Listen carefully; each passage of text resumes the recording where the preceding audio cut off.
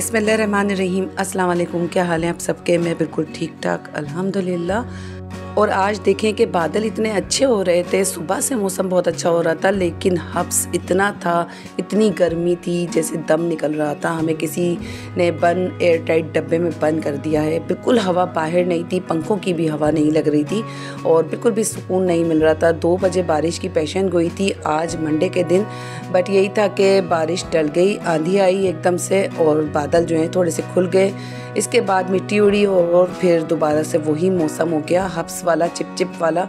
तो अभी पता नहीं अल्लाह ताला ने और कितनी हम लोगों से आजमाइशें और जो है यानी कि हमारी सब्र की बर्दाश्त जो है वो अभी देखनी है, क्योंकि इतना कोई यहाँ पे जो है ना, गर्मी का एक लंबा जो सीज़न है ना, हमने काट लिया है, मई, जून, जुलाई। अब जुलाई का भी जो है वो दस तारीख तो ऑलमोस्ट लगने ही वाली है।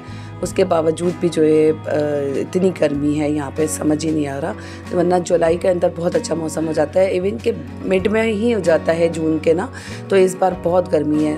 लास्ट ईयर इतनी नहीं थी। अच्छा यहाँ पे जो है, मैं खाना बना रही थी, उसके बाद जल्दी जल्दी मौसम इंजॉय करने के बाद तो मटन जो है मेरे पास रखा था। मैंने मटन के अंदर आलू डाल दिए थे। आलू भी घर में ही रखे थे। आलू और गोश्त का सालन बना लिया था। एक प्याला मैंने यहाँ पे वाइट राइस बना लिए थे और चार अदद मैंने चपातियाँ डाल दी थी। हम लोग तो नहीं खाते चपातियाँ वगैरह। सालन से ये होता है कि मुँह में बिल्कुल भी चलती नहीं है रोटी ना। इतनी बुरी लग रही होती है। सुबह अगर पराठे वगैरह ले लो तो नाश्ते में तो ऐसे ही था कि सुबह हमने पराठों का नाश्ता कर लिया था और ये शाम की रूटीन है तो शाम में जो है यही है।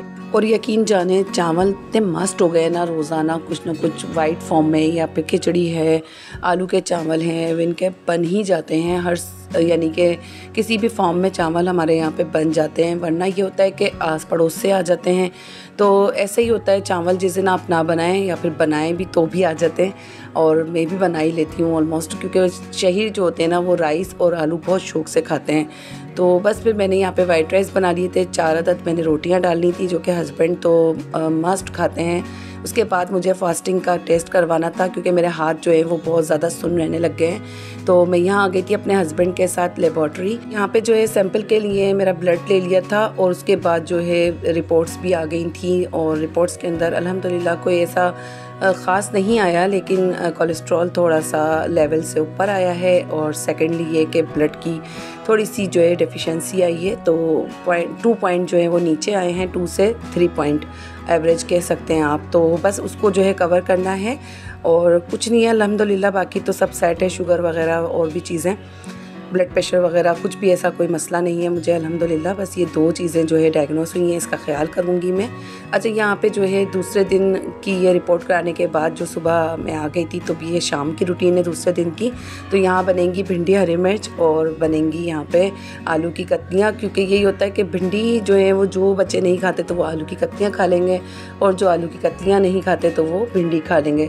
तो यहाँ पर मैंने तीन पाव के करीब भिंडियाँ कट कर ली थी, भिंडी, हरी मिर्च बहुत मज़े की लगती हैं मुझे, मेरे हस्बैंड को और मेरी जो बड़ी वाली बेटियाँ हैं, यशा, उनको अच्छी लगती हैं।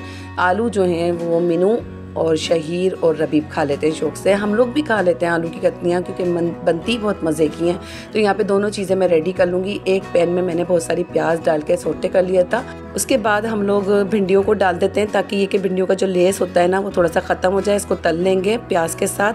प्याज ट्रांसपेरेंट ही रखनी है ताकि ये कि जब भिंडियाँ इसके साथ फ्राई हों तो प्याज का कलर जो है थोड़ा सा और डार्क हो जाता है। दूसरे वाले देगची में मैंने बघार के लिए मैंने डाला है ज़ीरा, कलौजी, सौंफ, साबुत धनिया, ये सारा डाल के थोड़ा सा खुशबू आने लगती है तो फिर मैंने जो है यहाँ पे आलू की जो मैंने सब्ज़ी कट करी थी, वो डाल देंगे फ़ौरन से ही तो बस इसको भी जो है थोड़ा सा तल लेंगे ताकि ये कि इसकी खुशबू सारी जो आलू की सब्ज़ी है उसमें मिक्स हो जाए। थोड़ा सा रोस्टेड हो जाए मसाला हमारा, उसके बाद डालना है तो जैसे कह लेते हैं कि कड़कड़ा जाए मसाला तो फिर आपने जो है सारी आलू की सब्ज़ी वगैरह डालनी है। यहाँ पर चली जाएगी हल्दी, वन टीस्पून और कुटी लाल मिर्च। आलू की कत्ती में भी वन टीस्पून गई है और भिंडियों के अंदर भी वन टीस्पून गई है। हल्दी चली जाएगी भिंडियों के अंदर भी वन टीस्पून। तो दोनों दोनों जो चीज़ें हैं, मैं एक साथ रेडी कर लूँगी और यहाँ पे चिकन पाउडर दोनों के अंदर मैंने one and half teaspoon जो है दोनों के अंदर डाल दिया था। नमक चला गया था, हसबे जायका तो आप लोग भी डाल दिएगा और इसके अंदर मैंने आलूओं में डालनी थी थोड़ी सी हरी मिर्चें, भिंडियों में चली जाएँगी हरी मिर्चें और टमाटर कट करके और चिकन पाउडर डाल दिया था। नमक चला गया था। अभी नमक नहीं डालूँगी मैं भिंडियों में।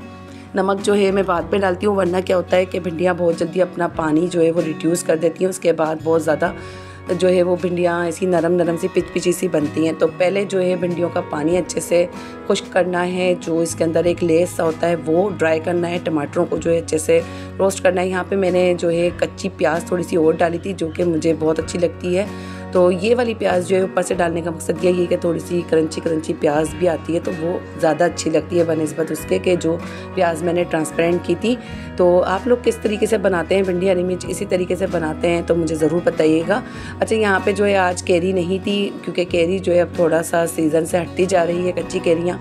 तो फ़िलहाल मैंने यहाँ पर जो है लेमन एक निचोड़ दिया था बनने के बाद और ये हम लोग जो है अब खाना खाने के लिए रेडी थी भिंडियाँ और गर्म कर रही थी मैं सिलेंडर पे।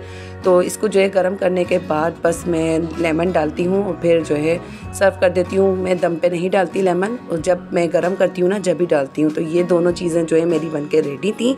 बहुत मज़े की सब्ज़ी बनती हैं। दोनों अक्सर मैं ये साथ ही बनाती हूँ, क्योंकि यही होता है कि भिंडी कोई नहीं खाता तो फिर आलू की कतलियाँ खा लेते हैं बच्चे। तो आज की जो व्लॉग थी वो इतनी ही थी। छोटी सी व्लॉग थी, आपको पसंद आए तो ज़रूर बताइएगा। और मिलेंगे नेक्स्ट वीडियो में, जब तक के लिए कि वॉचिंग सानिया हामिद व्लॉग अपने और अपने प्यारों का खास ख्याल रखिएगा। मुझे भी दुआओं में ज़रूर याद रखिएगा। मिलेंगे नेक्स्ट वीडियो में। जब तक के लिए अल्लाह हाफ़ जी बाय बाय